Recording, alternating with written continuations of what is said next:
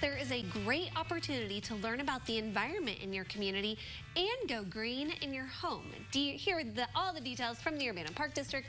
Savannah Donovan, the Environmental Program Manager, is here with all of the events on what is your very first Climate Action Week. So this sounds exciting. What made Urbana Park District decide we need to host a Climate Action Week? Well, uh, in April of last year, we released our first climate action plan for the Park District. It's called the CARES Plan, which is actually a, an acronym for Climate Action resilience, education, and sustainability, and caring about our community was really where this all came from. So, I mean, basically we see that climate change is happening. It has an impact on individuals and on our community, and we just wanted to do something positive to bring people together and, you know, really get people lifted up and invigorated to work on some of these issues together. Well, yeah, because climate has been such a hot topic um, around the country the last year or two. So it's important that we're addressing it here in central Illinois. So let's talk about some of the activities that you have planned because you've got an entire week's worth of fun. Yeah, and actually we're still getting something scheduled as we go. But so Climate Action Week will be the full week from August 22nd through 28th. Um, during the weekdays, we'll have opportunities like over the lunch hour for people to do a lunch and learn. Um, We'll have some tours, hikes scheduled, and then it will all culminate with a main event at Crystal Lake Park on Saturday the 27th from 1 to 4 p.m. Okay, let's go over some of the days worth of, of climate action events that you have planned because it is quite the lineup. Like you mentioned, there will be more added, but um, let's start with what you have First off, to kick off the week. Sure. So we're starting with uh, an opportunity to go on a tour of a real weather station, and that is at the Illinois State Water Survey. So we're working with our Illinois State climatologist, Trent Ford, and uh, Mr. Ford is going to lead a tour through the facility, and you can see how weather and climate data is actually collected. So how do they gauge rainfall, humidity, temperature, all of that stuff.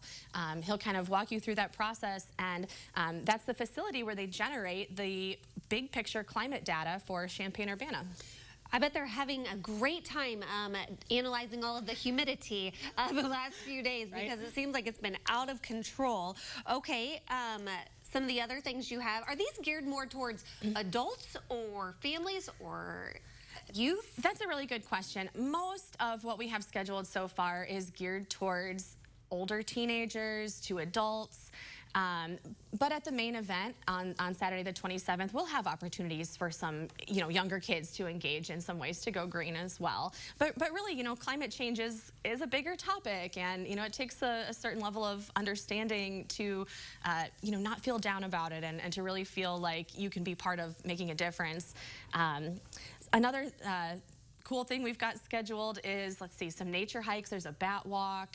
Um, we have a geothermal power hour that's actually going to be out at Parkland College, so you can sign up if you're interested in learning about how to use geothermal energy in your home. Tell me about the main event, though. Okay, The yes. grand finale. Yeah, so the main event, uh, we're just calling it the Climate Action Week main event, uh, but that is, again, at Crystal Lake Park on Saturday the 27th from 1 to 4.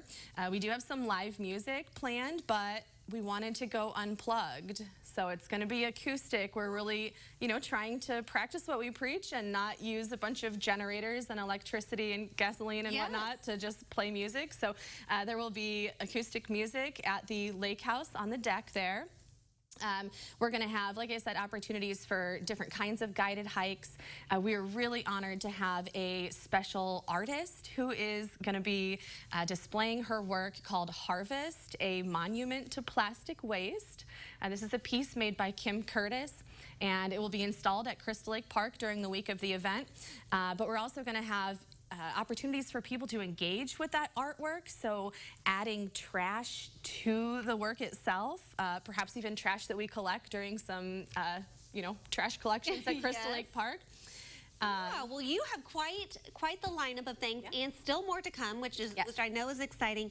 And um, we appreciate the work y'all are doing to Thank help you. raise climate awareness here in Central Illinois. And if you want to learn more about everything they have planned, I feel like we just barely scratched the surface on their whole week's worth of fun.